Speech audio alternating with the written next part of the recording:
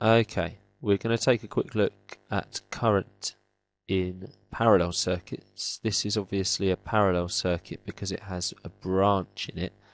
Uh, it's not just a simple loop like a series circuit. Um, and the current that flows around this parallel circuit is made up of negatively charged electrons. Lots and lots of them, millions, billions of them. We're just going to focus on one electron going around this circuit but there are actually lots of them. Now, to measure the current in this parallel circuit, we're going to use ammeters.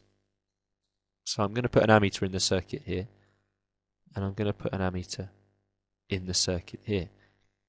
Now you'll notice, as this electron flows around the circuit, when it reaches a branch, it has to make a choice. Does it go through the middle branch of the circuit, or does it go through the lower branch of the circuit. Well, whichever branch it goes through, you'll notice that it always passes through the first ammeter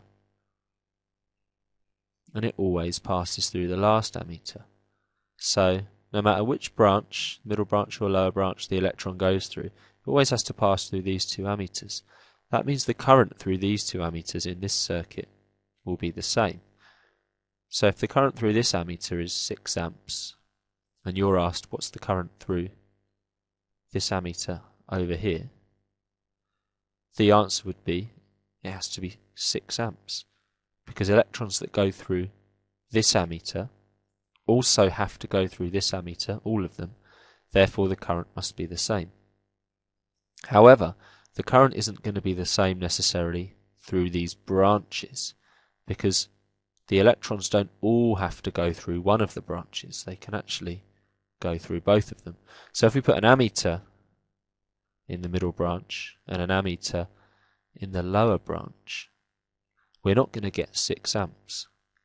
Uh, now it turns out you can kind of imagine electrons as being slightly lazy.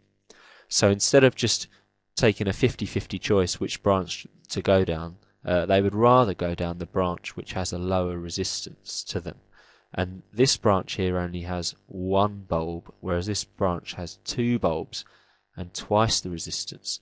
So it turns out the electrons are more likely to go through the middle branch. So let's say we've got a current of 4 amps through the middle branch. You could then be asked, well, what's the current through the lower branch? Well, the electrons have to go one way or the other. They've got to choose one of these branches now, if 4 amps of current is flowing through this branch, then and there's 6 amps of current flowing into the branch, then 2 amps of current must be going somewhere. So the current through the lower branch must be 2 amps. So this is something you'll always see in parallel circuits. In parallel circuits, the current going into a branch always equals the current going out of a branch. So in this case, 6 amps has been split up into 4 amps going through this branch and 2 amps going through this branch. So it'd be quite common for you to be asked to, to fill in uh, missing currents. So if you're asked what the current through the first ammeter is in this circuit, you know that the current through this ammeter is 6 amps, and all the current that goes through A4 must go through A1. So the current in this uh, this ammeter is 6 amps. If they asked you, for example, what's the current through the middle branch, you know that there's 6 amps flowing into this junction here, 2 amps flowing through this branch, so there must be 4 amps flowing through this branch.